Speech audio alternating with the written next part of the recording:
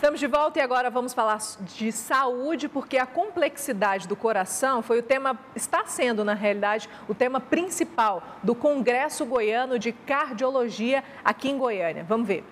Morte súbita, efeitos do calor ao coração e até a importância da espiritualidade para a cardiologia. Espiritualização envolve é, relação com o mundo, relação com as pessoas, a capacidade de perdoar, a fé, a crença, a crença no mundo, numa situação dessa, a resiliência, é, a gratidão, todos esses sentimentos que são traduzem a espiritualidade acabam levando as pessoas que são mais espiritualizadas nesse sentido, sejam religiosas ou não, a terem menos risco cardiovascular e aquelas que têm doença cardiovascular têm um comportamento diferente daquelas que não são espiritualizadas. Na programação do 31º Congresso de Cardiologia, além de palestras, estão sendo realizados simpósios, conferências e mesas redondas. Cerca de 500 congressistas de todo o país estão mostrando e trocando experiências sobre as novidades científicas relacionadas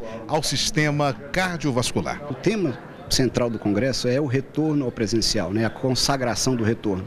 E é um momento de muita felicidade para a Sociedade Goiana de Cardiologia, porque a gente está conseguindo trazer de novo, além de atualizar o conhecimento em cardiologia, a gente também está conseguindo é, ter esse calor humano novamente. Presente no evento, o coordenador da Liga de Hipertensão Arterial falou com nossa equipe sobre pressão alta. A hipertensão arterial é a doença que mais mata no mundo, então acho que só isso informação já diz da importância dessa doença.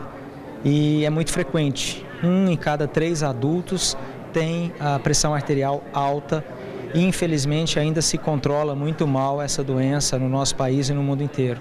E é por isso que ela segue sendo a principal causa de morte. O presidente da Sociedade Goiana de Cardiologia falou sobre a importância da proximidade entre profissionais e pacientes. Nós precisamos verdadeiramente nos engajar com o nosso paciente, nos interessar mais por ele, sair um pouco daquela zona de conforto e se envolver com os problemas do paciente.